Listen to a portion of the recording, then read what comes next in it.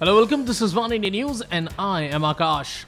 The Supreme Court on Thursday quashed a criminal complaint against former Indian skipper Mahendra Singh Dhoni by an Andhra Pradesh resident following his depiction as Lord Vishnu by a business magazine.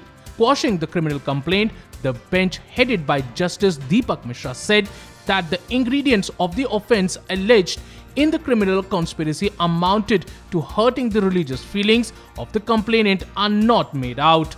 Another bench of Apex Court had in September last year quashed an identical complaint filed by another complainant before a court in Bangalore. In the magazine cover that was released in 2013, Dhoni, dressed as Lord Vishnu, was seen holding several objects in his hand, including a shoe. A court in Anantapur, Andhra Pradesh had issued a non bailable warrant against him for allegedly hurting religious sentiments.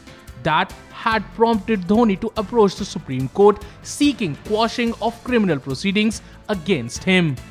Well, that's all for now, but for more news and updates, log on to oneindia.com and please don't forget to like and share this video. Also, don't forget to subscribe One India News YouTube channel.